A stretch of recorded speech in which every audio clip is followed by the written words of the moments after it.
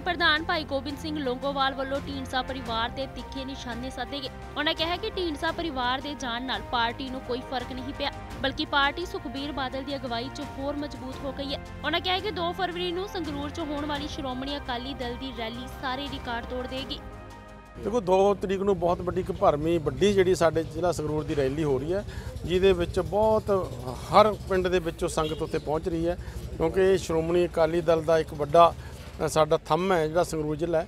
ਇਹ ਹਮੇਸ਼ਾ ਸ਼੍ਰੋਮਣੀ ਅਕਾਲੀ ਦਲ ਦੇ ਨਾਲ ਹੀ ਖੜਾ ਅੱਜ ਵੀ ਸਾਰਾ ਜ਼ਿਲ੍ਹਾ ਜਿਹੜਾ ਸਰਦਾਰ ਸੁਖਬੀਰ ਸਿੰਘ ਬਾਦਲ ਦੀ ਅਗਵਾਈ ਦੇ ਵਿੱਚ ਜਿਹੜਾ ਸ਼੍ਰੋਮਣੀ ਅਕਾਲੀ ਦਲ ਹੈ ਉਹਦੇ ਨਾਲ ਹੀ ਸਾਰਾ ਜ਼ਿਲ੍ਹਾ ਹੈ। ਇਹ 2 ਤਰੀਕ ਨੂੰ ਪਤਾ ਲੱਗ ਜਾਏਗਾ ਕਿ ਕਿੱਡਾ ਵੱਡਾ ਇਕੱਠ ਨੇ ਸਾਰਾ ਕੁਝ ਦੱਸ ਦੇਣਾ ਕਿ ਕਿੱਡਾ ਵੱਡਾ ਇਕੱਠ ਹੋਣਾ ਹੈ ਸਾਰੇ ਸ਼੍ਰੋਮਣੀ ਅਕਾਲੀ ਦਲ ਦੇ ਨਾਲ ਵਿਰੋਧੀ ਸਵਾਲ ਉਠਾ ਰਹੇ ਨੇ ਵੀ ਤੁਸੀਂ ਐਸਜੀਪੀਸੀ ਦੇ ਪ੍ਰਧਾਨ ਹੋਣ ਦੇ ਨਾਤੇ ਤੁਸੀਂ ਸਿਆਸਤ ਕਰ ਰਹੇ ਹੋ।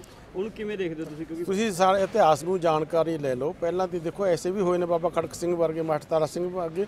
ਉਹ ਸ਼੍ਰੋਮਣੀ ਅਕਾਲੀ ਦਲ ਦੇ ਪ੍ਰਧਾਨ ਵੀ ਹੁੰਦੇ ਰਹੇ ਨੇ ਸਮੇਂ-ਸਮੇਂ ਤੇ ਸ਼੍ਰੋਮਣੀ ਕਮੇਟੀ ਦੇ ਪ੍ਰਧਾਨ ਵੀ ਰਹੇ ਨੇ। ਗੁਰਚਰਨ ਸਿੰਘ ਟੌੜਾ ਸਾਹਿਬ ਦਾ ਤੁਸੀਂ 25 27 ਸਾਲ ਪ੍ਰਧਾਨ ਰਹੇ ਨੇ। ਨਾਲ ਦੇ ਨਾਲ ਉਹ ਐਮਪੀ ਵੀ ਰਹੇ ਨੇ। ਉਹ ਰਾਜ ਸਾਡੀ ਰਾਜਨੀਤੀ ਤੇ ਜਿਹੜੀ ਧਰਮ ਹੈ, ਸਾਂਝਾ ਹੈ। ਗੁਰੂ ਹਰਗੋਬਿੰਦ ਸਾਹਿਬ ਨੇ ਸਾਰਾ ਸਾਂਝਾ ਬਣਾਇਆ। ਮੇਰੀ ਪ੍ਰਿय ਸਿਧਾਂਤ ਤੇ ਹਮੇਸ਼ਾ ਸਿੱਖ ਚੱਲਦਾ ਹੈ ਸਰ, ਇਹ ਅਕਾਲੀ ਦਲ ਜਿਹੜਾ ਇੱਥੇ ਪੂਰਾ ਇੱਕ ਸਟਰੋਂਗ ਸੀਗਾ ਮੰਨ ਲਈਏ ਇਸ ਡਿਸਟ੍ਰਿਕਟ ਦੇ ਵਿੱਚ।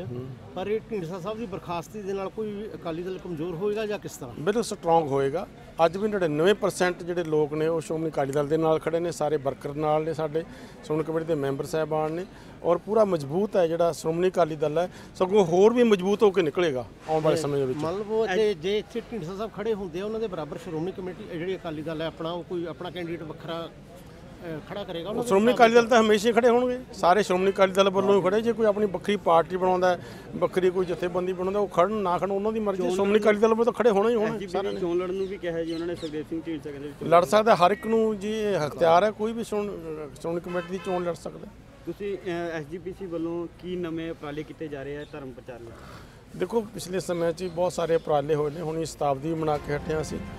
ਜ਼ਿਕਰਯੋਗ ਹੈ ਕਿ ਭਾਈ ਗੋਬਿੰਦ ਸਿੰਘ ਲੋਂਗੋਵਾਲ ਲਹਿਰਾ ਗਾਗਾ ਦੇ ਨੇੜਲੇ ਪਿੰਡ ਸੰਗਤਪੁਰਾ 'ਚ ਤੀਜੇ ਪਿਆਰੇ ਭਾਈ ਹਿੰਮਤ ਸਿੰਘ ਦੇ ਜਨਮ ਦਿਹਾੜੇ ਨੂੰ ਸਮਰਪਿਤ ਇੱਕ ਧਾਰਮਿਕ ਸਮਾਗਮ 'ਚ ਪਹੁੰਚੇ ਸਨ। ਲਹਿਰਾ ਗਾਗਾ ਤੋਂ ਗਗਨਦੀਪ ਸਿੰਘ, ਦੈਨਿਕ ਸਵੇਰਾ ਟੀਵੀ। ਕੈਨੇਡਾ ਦਾ ਸਟੱਡੀ ਵੀਜ਼ਾ ਸਿਰਫ 5 ਲੱਖ ਰੁਪਏ ਦੇ ਵਿੱਚ। 5 ਲੱਖ ਰੁਪਏ ਦੇਣਾ, ਤੁਸੀਂ ਵੀਜ਼ਾ ਲੱਗਣ ਤੋਂ ਬਾਅਦ ਦੇਣਾ, ਜਿਹਦੇ ਵਿੱਚ ਤੁਹਾਡੀ 1 ਸਾਲ ਦੀ ਕਾਲਜ ਦੀ ਫੀਸ ਇਨਕਲੂਡ ਹੈ। ਤੁਸੀਂ ਬ੍ਰੈਂਪਟਨ ਜਾਣਾ ਚਾਹੁੰਦੇ ਹੋ, ਸਰੀ ਜਾਣਾ ਚਾਹੁੰਦੇ ਹੋ, ਸਿਰਫ 5 ਲੱਖ ਰੁਪਏ ਚ ਜਾਓਗੇ।